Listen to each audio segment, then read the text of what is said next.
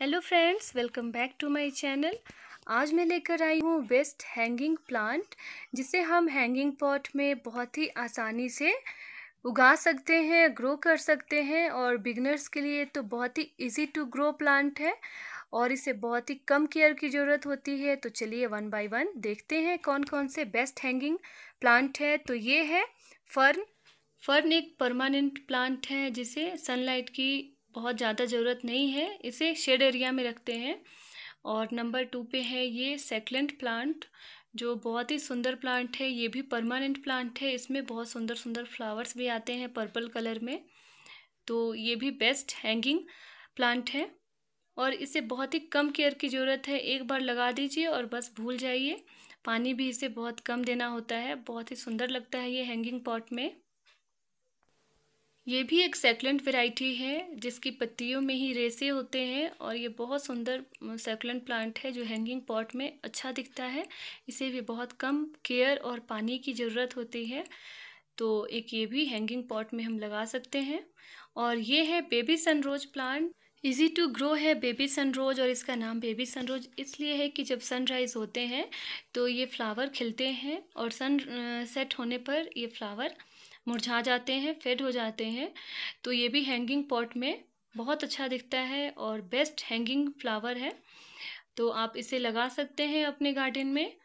तो देख सकते हैं ये कितने अच्छे से बंच में चारों तरफ़ से निकले होते हैं। और ये सारे प्लांट बिगनर्स के लिए बेस्ट है और बहुत ही कम केयर की ज़रूरत होती है। इनकी कटिंग भी बहुत ही आसानी से लग जाती है। और ये है पेंसी जो अलग अलग कलर्स में आती है। मेरे पास वाइट और येलो में है। ये भी हैंगिंग पॉट के लिए परफेक्ट है। और ये बहुत अच्छे से पूरे हैंगिंग पॉट को कवर कर लेता है और बहुत सारे फ्लावर एक साथ इसमें आते हैं। अभी इसका सीज़न शिमला में ख़त्म हो रहा है सो ये अभी कम दिख रहे हैं। अदरवाइज़ ये बहुत ज़्यादा फ्लावर में आते हैं। तो डिफरेंट डिफरेंट कलर्स में पेंसी आते हैं ये वाइट पेंसी है। बहुत ही सुंदर लगता है ये हैंगिंग पॉट में। तो आप इसे भी लगा सकते हैं अपने हैंगिंग पॉट में। और ये है वेरीगेटेड टर्टल वाइन जिसकी कटिंग ऑलरेडी मैंने दिखाई हुई है, जिसे हम पानी में भी और मिट्टी में भी बहुत अच्छे से ग्रो कर सकते हैं। और आप देख सकते हैं ये कितने नीचे तक गया हुआ है, काफ़ी लंबा जाता है ये टर्टल वाइन और इसे हैंगिंग पॉट में बहुत ही आसानी से हम लगा सकते हैं। ये पूरे पॉट को अच्छे से कवर कर लेता है। धारीदार पत्तियों वाली ये प्लांट बहुत ही सुंदर है हैंगिंग पॉट के लिए और परफेक्ट है बिगनर्स के लिए। तो आप इसे अपने गार्डन में लगा सकते हैं और अपने गार्डन को डेकोरेट कर सकते हैं। और ये है वंडर जियो जिसे हम हैंगिंग पॉट में बहुत ही आसानी से लगा सकते हैं और इन्हें बहुत कम पानी की ज़रूरत होती है। जेट प्लांट भी है और ये कार्नेशन है, जो अलग अलग कलर्स में आते हैं। इनका सीज़न भी अभी ख़त्म होने को है। सो इस तरीके से ये सूखे लग रहे हैं, बट अगले साल ये फिर वापस आ जाते हैं। ये है सेगलेंट प्लांट की वेराइटी ये भी हैंगिंग पॉट के लिए परफेक्ट है। अभी डायरेक्ट धूप आ रही है बालकनी में, सो यहाँ पे थोड़ा सा डार्क लग रहा है। ये है जिरेनियम, हैंगिंग जिरेनियम जो डिफरेंट कलर्स में आते हैं वेराइटीज़ में आते हैं, ये भी बहुत ही सुंदर हैंगिंग पॉट के लिए प्लांट है। पूरे पॉट को ये कवर कर लेता है, इसकी कटिंग और प्रोनिंग हमें करती रहनी होती है। और ये है पिटूनिया फ्लावर, जो हैंगिंग पॉट के लिए परफेक्ट है। और इसमें बहुत सारे कलर्स आते हैं वेराइटी आते हैं वेरीगेटेड आते हैं।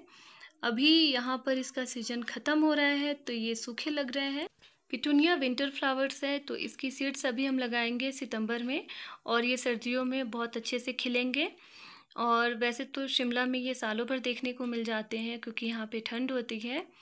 तो ये सारे पिटूनिया फ्लावर्स ही हैं जो अलग अलग कलर्स में है वेरीगेटेड पिटूनिया भी है। इनकी कटिंग भी हम लगा सकते हैं। बहुत ही सुंदर हैंगिंग पॉट के लिए होता है ये। परफेक्ट हैंगिंग पॉट के लिए फ्लावर है। और ये है सेकलेंट प्लांट की ही वेराइटी जिसको ऑलरेडी मैंने आपको दिखाया हुआ है। बहुत ही सुंदर और बेस्ट हैंगिंग पॉट के लिए ये है।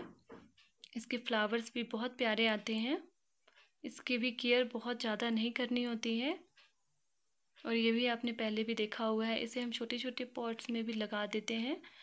हैंगिंग पॉट में भी लगा सकते हैं हम। ये देखिए कितना प्यारा फ्लावर इसमें आया हुआ है वाइट सा। और ये है वंडर जियो। ये भी हैंगिंग पॉट के लिए परफेक्ट होता है। इसमें पानी थोड़ा सा हमें कम देना होता है। और ये हमेशा सालों भर चलता है, परमानेंट फ्लावर है। इसकी पत्तियाँ भी बहुत ही सुंदर होती हैं। और ये सारे प्लांट को हम पानी में और मिट्टी दोनों में ही अच्छे से ग्रो कर सकते हैं। तो आपको मेरे चैनल पर मिल जाएगी वाटर प्लांट। ये है बेगुनिया फ्लावर जो हैंगिंग पॉट के लिए परफेक्ट है और ये विंटर फ्लावर है। बट शिमला में जैसा कि मैंने कहा है, सालों भर आपको देखने को मिल जाएँगे। और ये भी बहुत सुंदर फ्लावर होते हैं, डिफरेंट कलर्स में होते हैं। तो इन्हें भी हम आसानी से अपने हैंगिंग पॉट में लगा सकते हैं। और ये है जिरेनियम फ्लावर इसकी भी अलग अलग वैरायटी और कलर्स होती है। देखिए, ये कितना सुंदर लग रहा है और इसे भी हैंगिंग पॉट में आसानी से लगाया जा सकता है। इसकी कटिंग भी बहुत ही आसानी से लग जाती है। ये है जेड प्लांट की वैरायटी जिसकी पत्तियाँ अभी ठंड की वजह से और मॉइस्चर की वजह से झड़ चुकी हैं और फिर धीरे धीरे ये वापस से आ जाती हैं और घनी हो जाती है। तो ये सारे मेरे हैंगिंग पॉट के प्लांट है। ये है स्पाइडर प्लांट ये भी बहुत सुंदर लगता है हैंगिंग पॉट में। वैसे तो इसे किसी भी पॉट में लगा दीजिए, उसकी खूबसूरती बढ़ जाती है और ये बेबी सनरोज को भी मैंने इसमें लगाया हुआ है। और ये है डायंथस ये भी है। हैंगिंग पॉट के लिए बेस्ट ऑप्शन और ये भी डिफरेंट कलर्स में आते हैं और ये परमानेंट फ्लावर हैं, इनकी कटिंग भी ईजिली लग जाती है।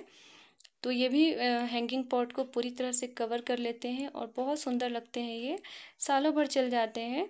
तो इसे भी आप लगा सकते हैं। ये है फर्न, जो मैंने लगाया हुआ है टी पॉट में और ये भी पूरे टी पॉट को देखिए कैसे कवर कर लिया है। तो ये भी बहुत अच्छा ऑप्शन है हैंगिंग पॉट के लिए और ये है वंडर जीव जो हैंगिंग पॉट के लिए परफेक्ट है और ये काफ़ी अच्छे से पूरे हैंगिंग पॉट को कवर कर लेते हैं और नीचे तक ये हैंग हो जाते हैं और इन्हें धूप में रखना चाहिए, डायरेक्ट सनलाइट इन्हें चाहिए होती है। बहुत ही सुंदर और शाइनिंग लिप्स होते हैं इसके।